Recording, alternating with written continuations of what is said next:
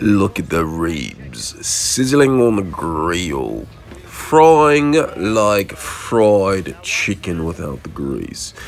As you can flip them over, you can see the sear marks on the ribs. Ding, ding, ding. Rib by rib, they're seared.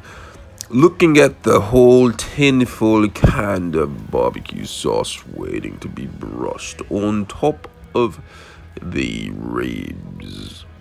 Can you hear the searing noise coming from the ribs, as well as the barbecue sauce waiting to get poured on top of the ribs? Goodness, doesn't that look good? Meaty chunks of meat waiting to fall off of the bone of the ribs absolute goodness, if you ask me. Don't you want to take a bite of the goodness? I know you do.